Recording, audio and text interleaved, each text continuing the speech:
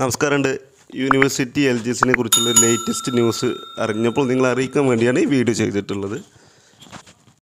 നിരവധി ആളുകളാണ് university L G S എന്തായി എന്തായി എന്ന് ചോദിക്കാൻ തുടങ്ങിയിട്ട് നിരവധി ആളുകളുടെ മെസ്സേജുകളും കമന്റുകളും ഒക്കെ നമുക്ക് കാണാൻ കഴിയാറുണ്ട്. L G university L G S വരുന്നുണ്ടോ? അല്ലെങ്കിൽ യൂണിവേഴ്സിറ്റി എൽ ജി എസിന്റെ ക്വാളിഫിക്കേഷൻ ഡിഗ്രി ഡിഗ്രിക്കാർക്ക് അപ്ലൈ ചെയ്യാൻ പറ്റുമോ?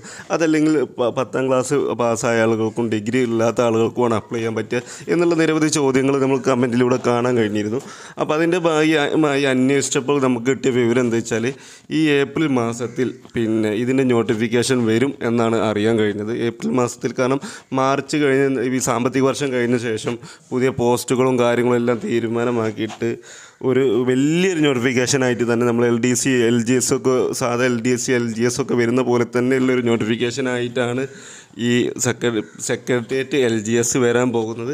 ഇപ്പോഴും അതിന്റെ പ്രോബ്ലം എവിടെ എന്ന് ചോദിച്ചാൽ നമ്മുടെ ഈ യോഗ്യത ഉണ്ടല്ലോ. ക്വാളിഫിക്കേഷന്റെ കാര്യത്തിലാണ് ഇപ്പോഴും അതിന്റെ ചർച്ചകൾ നടന്നുകൊണ്ടിരിക്കുന്നത് എന്നാണ് അറിയാൻ കഴിഞ്ഞത്.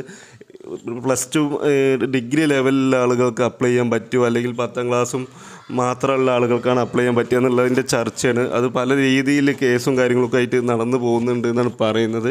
ഇപ്പോൾ ഡിഗ്രിക്കാരെ ഉൾപ്പെടുത്തിയിട്ടില്ല എങ്കിൽ അത് വേറെ രീതിയിലേക്ക് പ്രോബ്ലം ആവും. അപ്പോൾ എങ്ങനെയാണ് ഇത് സോൾവ് ചെയ്ത് ഈ നോട്ടിഫിക്കേഷൻ വരിക എന്നുള്ളത് നമുക്ക് പറയാൻ കഴിയില്ല. എന്നിരുന്നാലും മാർച്ച് ഈ ഏപ്രിൽ മാസത്തിൽ മാർച്ചല്ല ഈ ഏപ്രിൽ മാസത്തിൽ അതിന്റെ നോട്ടിഫിക്കേഷൻ വിടും എന്നാണ് പറയുന്നത്. ലാസ്റ്റിലേക്ക് ആയിരിക്കും അതിന് വരാൻ സാധ്യത എന്നും പറയുന്നുണ്ട്.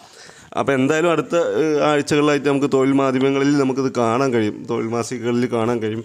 യൂണിവേഴ്സിറ്റി എൽ ജി എസ് എപ്പോൾ വരും എന്നുള്ളൊരു തീരുമാനം നിങ്ങൾക്ക് ഈ ചാനലിൽ വന്ന വിശ്വാസമില്ലെങ്കിൽ അതെന്തായാലും നിങ്ങൾക്ക് അടുത്ത തൊഴിൽ വാർത്തയിലോ തൊഴിൽ വീതിയിലോ പി എസ് സി ബുള്ളറ്റിനിലോ ആയിട്ട് നിങ്ങൾക്കിത് കാണാൻ കഴിയും എന്ന് തന്നെയാണ് വിശ്വാസം. അങ്ങനെയാണ് നമുക്ക് കിട്ടിയ വിവരം.